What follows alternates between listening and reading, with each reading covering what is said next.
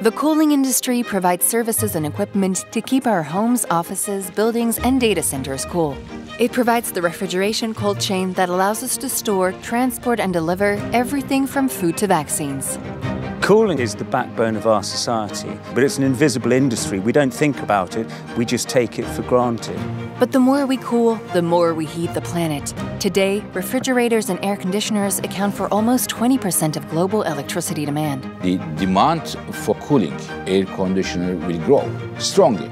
As global temperatures rise, population grows, and living standards improve, the demand for cooling is skyrocketing and increasing planet warming emissions. We need, first of all, to work on energy consumption, to reduce it massively.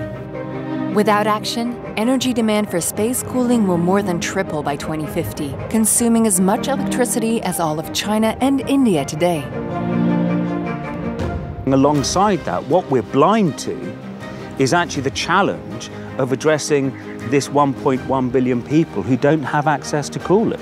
So we've got two challenges. Governments, businesses, and cities are already taking on the challenge. The cities are not waiting for climate change. We can see that climate change is already a reality for us. So we have to act Alternatives can help make our cities cooler. Building designs and materials, urban parks and green roofs, cool reflective roofs, and district cooling networks are all cost effective solutions that lower CO2 emissions.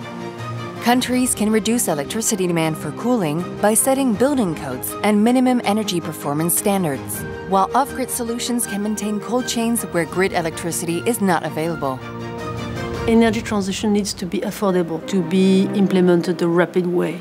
We have to deliver cooling for all within inside our climate constraints.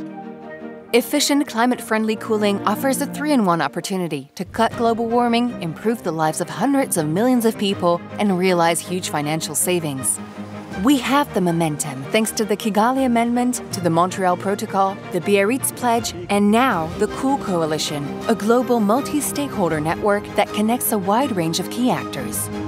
We will probably never have as good a chance to tackle the cooling challenge. But we can only go far if we go together.